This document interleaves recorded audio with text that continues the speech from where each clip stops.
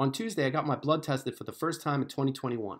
So what's my data? What's my biological age? So that's what we can see here, the nine variables and chronological age of Levine's uh, phenotypic age calculator, which is a measure of biological age. And based on these data, we can see that my phenotypic age, again also known as biological age, is 32.6 years, which is 15.4 years younger than my chronological age of 48. Also note that this is my lowest biological age over 10 measurements since 2018, so uh, I'm on the right track. So let's compare these data against a few blood tests. So first, my previous blood test. How did these data compare with my last blood test? So my last blood, test was in December of 2020, so just two months ago. And based on those data, my uh, biological age was 33.8 years. So I've improved in the two month period since then. So also uh, interesting to note are, uh, well, I should also mention what, what was the major change. So what we can, what I've boxed is uh, I was able to reduce my C-reactive protein, which is a measure of uh, inflammation, by about 40%. And I'll get more into that in the upcoming slides, uh, slides about what I think is driving those uh, that, that reduction. Uh, so how did these data compare year over year? So I also measured in March of 2020, and there may be seasonal effects uh, to some of these data. So how did the data compare year over year? So that data is here. This is the second blood test that I did in 2020. and from in March, and we're going to compare it against the uh, blood test that I just did earlier uh, on Tuesday. And we can see that my phenotypic age is 33.4 years. And uh, even though my chronological age went up by one year, my biological age was uh, reduced by uh, 0.8 years. So in the, right, on, in the right direction and on the right track. Also note that my C-reactive protein in that measurement was 0.37 milligrams per liter, whereas I, I was able to reduce it by about 30% for this just recent blood test. So the uh, obvious question should be, or I think is, what's my approach? How am I doing this? How am I able to maintain uh, maintain this youthful biological age? So what's my fitness? What supplements am, am I taking? And what's my diet composition? So first, uh, in terms of average fitness stats, and for those who are interested in, uh, uh, I, I, posted a picture on my uh, YouTube community page, shirtless, shirtless picture where you can see that I'm relatively lean. I'm working on getting leaner got you know I've gotten a little bit uh, I've added about five pounds of fat over the past six months or so so I'm working towards getting back to that. So uh, stay tuned.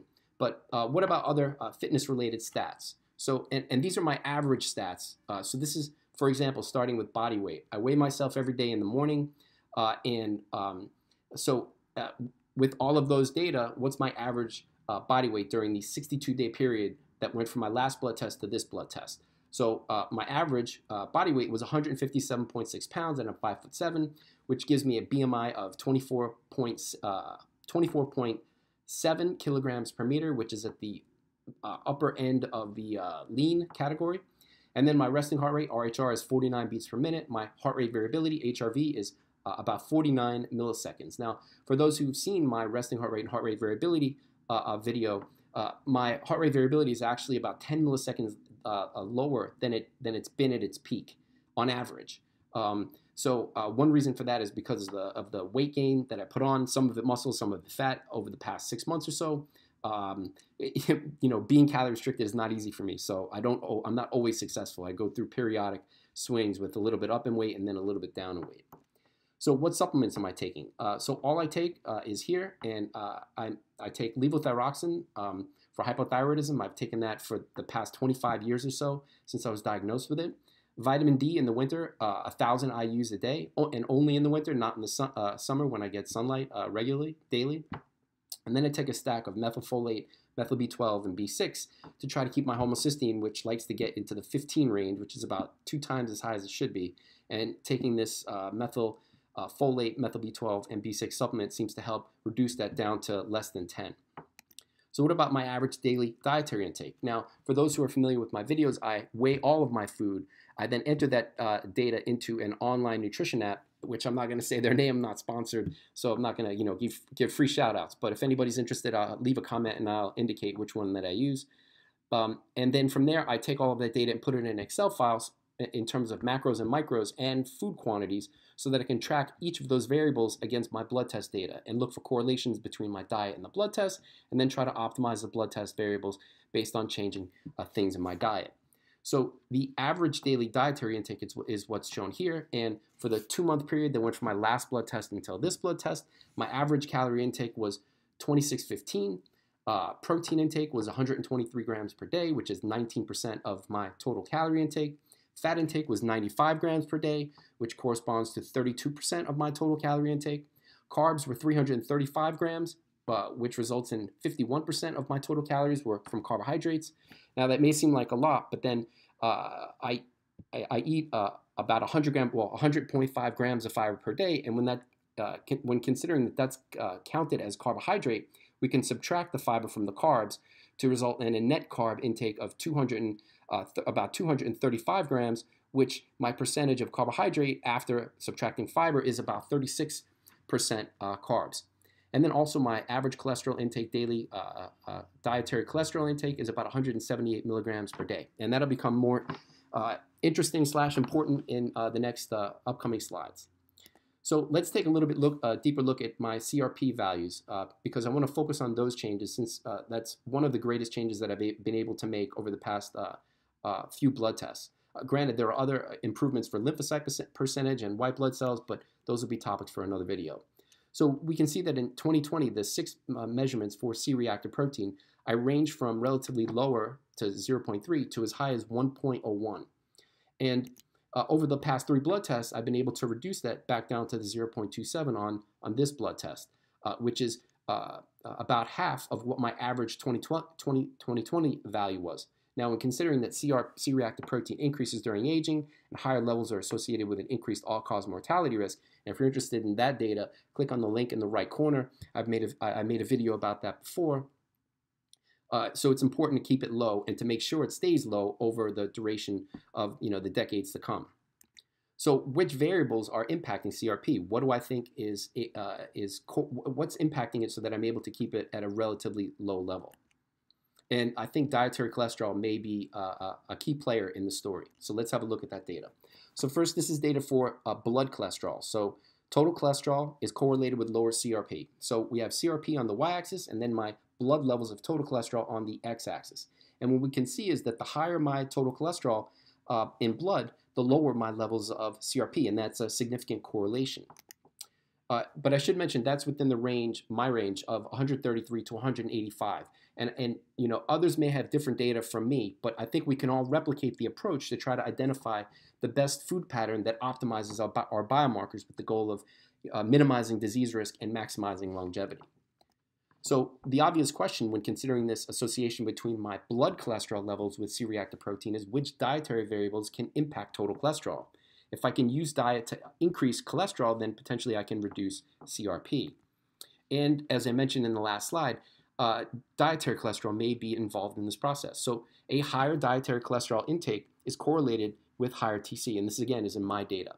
And we can see that here. So the higher my average dietary cholesterol intake is, the higher my blood levels of cholesterol are. And that, that again is a significant correlation as, as seen by the uh, uh, p-value. So then the obvious question is, is dietary cholesterol correlated with CRP? Is there a direct effect there or potential direct effect there? And interestingly, dietary cholesterol is not significantly correlated with CRP. So this suggests to me that this is maybe an indirect effect where more dietary cholesterol, more total cholesterol, and then for whatever reason, through whatever mechanism, higher levels of blood cholesterol are involved in mechanisms that are reducing CRP. Now, total cholesterol, TC, equals the sum of HDL plus LDL and VLDL. So which of these are correlated with C-reactive protein? So I've got those correlations here, and uh, we can see that VLDL is not correlated with the CRP. The p-value is higher than 0.05. LDL is relatively close to significance with a p-value of 0.1, uh, 0.1. But then HDL, a higher HDL, is inversely correlated with C-reactive protein. So higher HDL is correlated with lower C-reactive protein, and based on the p-value, that's a significant correlation. So we can see that here visually. The higher my HDL, the lower the, the CRP.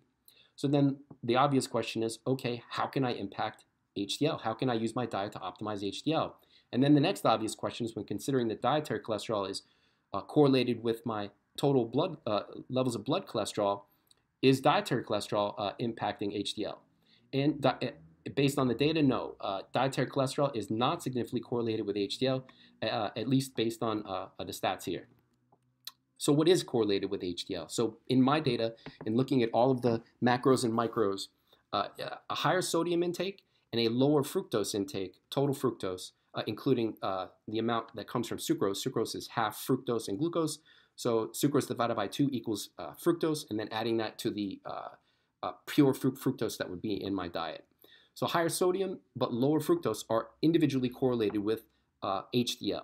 So first on the left, we can see that the higher my salt intake, and this is within the range of 1400, about 1400 milligrams of salt per day to about 26 uh, 25, 2600 milligrams per day. The higher my salt intake is correlated with uh, a higher HDL. Uh, and then conversely, the higher my total fructose intake, the lower my HDL. So with that in mind, I try to keep my fructose intake closer to the 70 to 80 gram or less if I can. I mean, I, I, I love eating fruit. I have a sweet tooth. Uh, it's, it's really tough for me to try to get it lower than that, but I, I try because as you can see on the graph, I've got um, average daily fructose intakes of more than 110 grams per day on average. Uh, so uh, getting it to 70 to 80 around there is, a, is actually a win for me.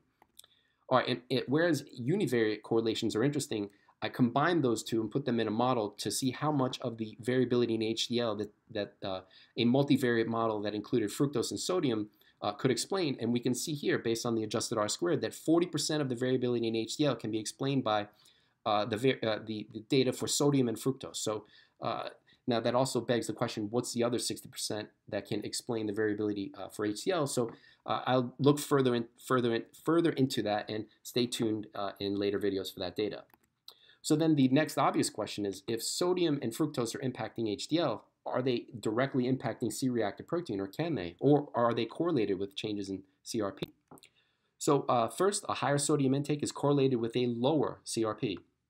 And this is uh, uh statistically significant, sorry uh, with a p-value of 0.05. And again, this is within the range of about 1,500 to 2,500 milligrams of salt per day. Now, I'm uh, for my next blood test, I'm going to experiment with a little bit higher, maybe somewhere in the 2,700 uh, milligrams of sodium per, uh, per day. I don't want to go too high because it could potentially uh, increase my blood pressure, and I've noticed some correlations between higher creatinine and higher glucose, which is going in the wrong direction. So trying to find the amount of salt that potentially optimize HDL while not affecting the other biomarkers um, is, is the goal. Now, interestingly, my average daily fructose intake was not correlated with CRP.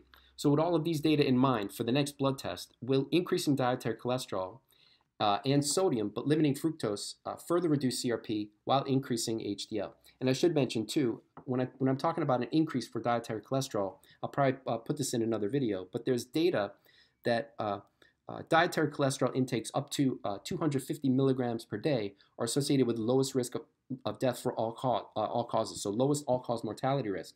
Going higher than 250 milligrams per day of dietary cholesterol is associated with a higher all-cause mortality risk. If you remember from the earlier slide, my uh, average uh, um, uh, daily dietary cholesterol intake was 178 milligrams per day. So I'm going to experiment getting closer to about 250, see if that raises my total cholesterol potentially LDL, uh, and uh, increase my salt a little bit to try to get the HDL up.